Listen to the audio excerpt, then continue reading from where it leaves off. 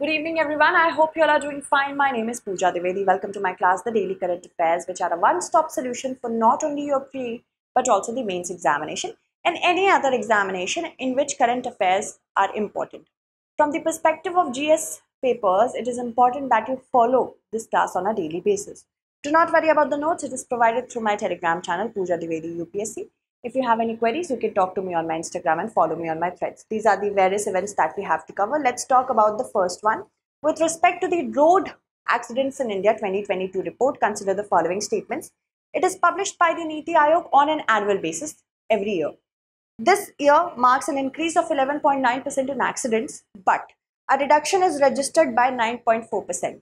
So what do we have to see? Which of the statements given above is or are correct? See, this is a trick question and many of you have fallen for this trick. I've seen the comments. The first statement is incorrect because it is not the Niti Aayog that publishes this report but the Ministry of Road Transport and Highway on an annual basis. And the data on which this report is premised is collected by the various police departments on, of states and union territories. So first is incorrect. This year there is an increase in the number of accidents by 11.9%, almost 12%. And also an increase in the number of fatalities. Here it is written reduction. So you see UPSC will trick you like that. You do not have to be tricked.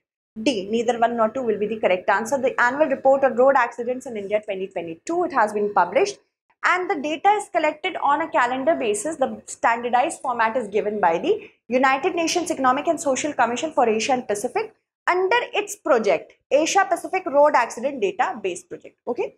And there is a total of, the report says that there is a total of more than 4 lakh road accidents for the year 2022 in different states and union territories. And this is an increase of 11.9%. Also, 9.4% increase in fatalities as well as injuries, 15.3% as compared to the year 2021. Under the category traffic rules violation, the major killer has been overspeeding Overspeeding because of this people have died and 71.2% is the percentage of the killings. Over 10,000 road accidents occurred due to the drivers, uh, due because of the drivers were being influenced by alcohol.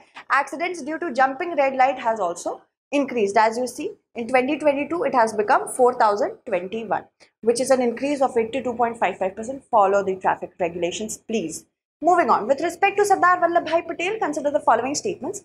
He presided over the session of the Indian National Congress which was called upon to ratify the Gandhi-Irwin Pact. Post-independence, he was responsible for the home, states and information and broadcasting portfolios. Which of the statements given above is or are correct? Last day, that is 31st of October, was the birth date of Sardar Vallabhbhai Patel. There is no record of his birth date, but we generally uh, celebrate it on 31st of October. Why?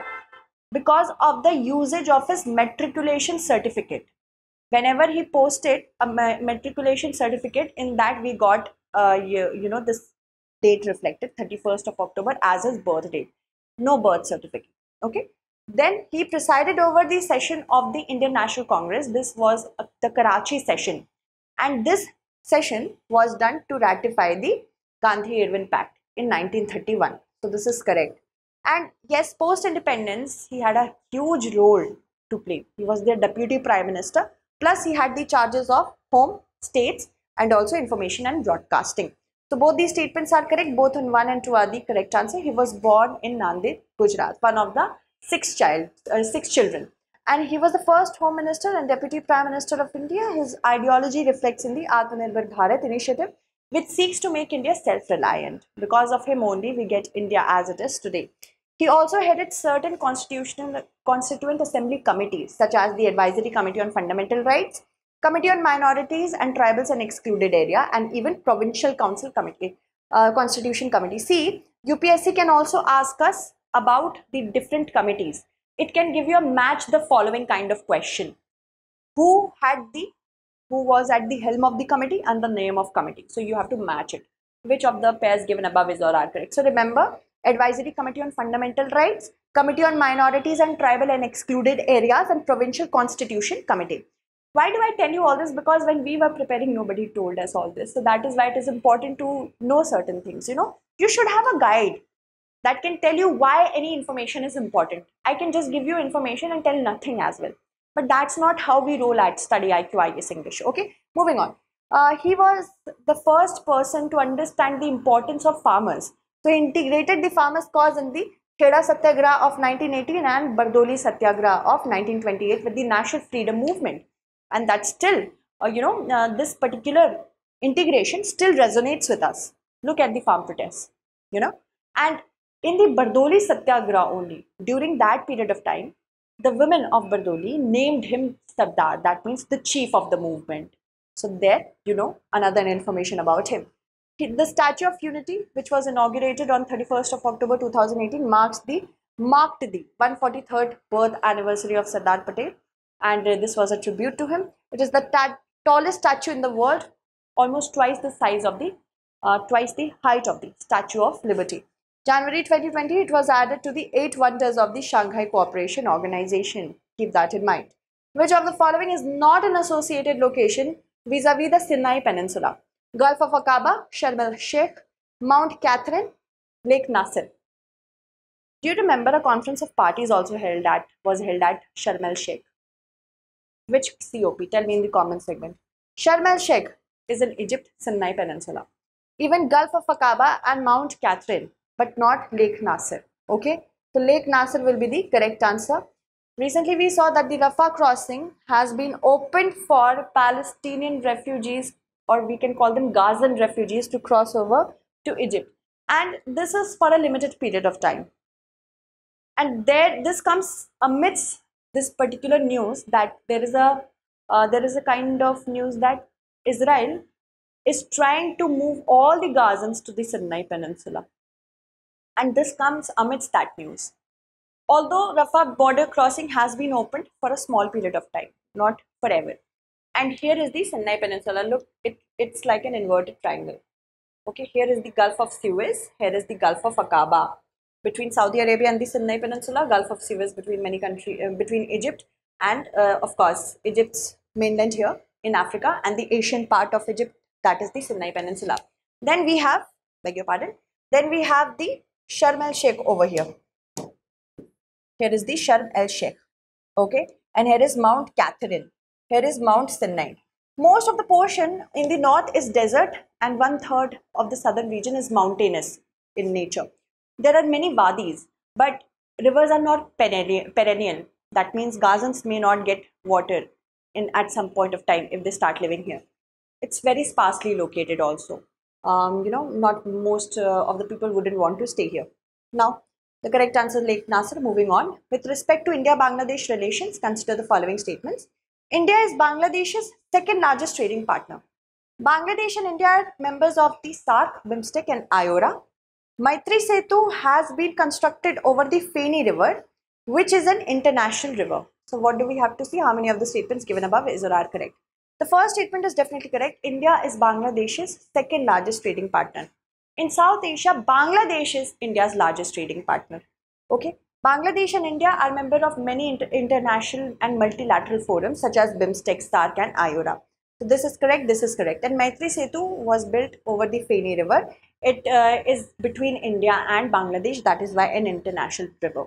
So 1, 2 and 3, all three are correct. All three will be the correct answer. Recently, three important key projects have been inaugurated uh, between India and Bangladesh. Agartala Akhaura Rail Project, Khulna Mongla Project uh, and Unit 2nd of the Maitri Super Thermal Power Plant in Rampal. So these two are connectivity projects. I have already discussed this in detail in today's class. Do watch that. Okay. And Khulna Mongla Port Line is also connectivity project. This is energy security. Bangladesh shares a border with India via five states. West Bengal, Assam, Meghalaya, Tripura and Mizoram. The Agartala, capital of Tripura, is connected with Akhaura in Bangladesh and then via Dhaka, Agartala will also find a way to Kolkata. So this is a connectivity project. It is going to boost tourism, trade, connectivity, etc. etc. Okay. And I have covered this in detail. That is why it is important for you to go and watch it because in international relations, definitely questions can be formed. Moving on. India's largest trading partner in South Asia. For 2021-2022, India is Bangladesh's second largest trading partner, largest export market in Asia. Okay, bilateral trade has grown 14% despite COVID-19. That means we have grow, we have started to grow our relationship showing the importance of India to Bangladesh and Bangladesh's important to, importance to India. We are also going to have a comprehensive economic partnership agreement soon. Maitri Setu is a bridge that has been constructed over the Feni River in 2021. Here it is. You can see Indian part and Bangladesh part and this is the Feni River. Alright. And it will connect Sabroom in Tripura to Ramgarh in uh, Bangladesh. Padma Setu is another one. Then we have Mitali Express which was operationalized in 2022 which is a bi-weekly for bi-weekly journeys in order to connect Bangladesh and India. Sarna religion was recently seen in the news. The followers of Sarna faith believe in praying to nature, Buddha, the Holy Cross, animals. The correct answer is option A that is nature. Jharkhand CM has written to the Prime Minister seeking recognition of the Sarna religious sect, uh, Sarna religious code for tribals. Followers of Sarna, they believe they have this particular faith that nature is the one for them the holy grail is Jal, Jungle, Zameen. That means when they are worshipping the nature, nature is protecting them in return. Jharkhand has 32 tribal groups of which 8 are particularly vulnerable. We know that there are 75 PVTGs. So Jharkhand also has 8. While many adhere to Hinduism, some have also converted to Christianity. They are wanting that their code, uh, you, you know, their practice should be preserved. That is why they are very desperate to get a code to preserve religious identity. Moving on. With reference to the disqualification of an MP, a member of the parliament, consider the following statements. A person shall be disqualified if he holds any office of profit under the government of India or the government of any state. Either it could be government of India or the government of any state. A person shall be disqualified if he is of unsound mind and stands so declared by a competent court. It's not like if I say that X is not in their mind anymore. That's not what holds you know a definition for an unsound mind. It should be done by a competent court. A person shall be disqualified if he has voluntarily acquired the citizenship of foreign state. So how many of the statements how many of the above are reasons for disqualification? Actually all three are all three will be the correct answer. Article 102 deals specifically with disqualifications of mps from the parliaments. Uh, and if any if uh, any person does that they can be disqualified. If he holds an office of profit under the government of india or the government of any state or any other office declared by the parliament by law not to disqualify its holder. If he is of unsound mind and stands so declared by a competent court.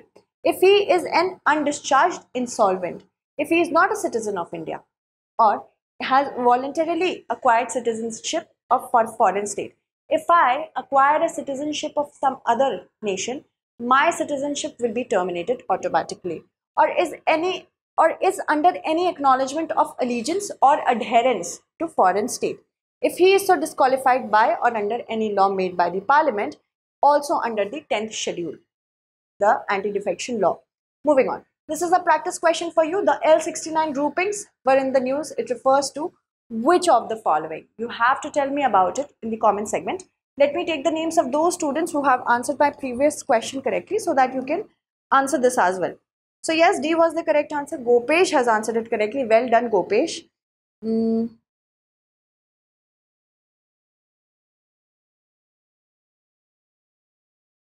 So Sonu KR has given us information and I hope on the basis of that you were able to understand that D was the correct answer.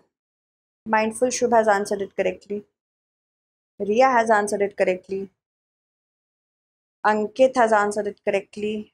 Pratik, Satish, mm, official Dhanavat, thank you so much. It's D. Why you guys have written B? That is why I tell you to read the statements carefully. Suresh has answered it correctly. So, few of you have answered it correctly. Keep in mind, you do not have to be tricked. Thank you so much for watching.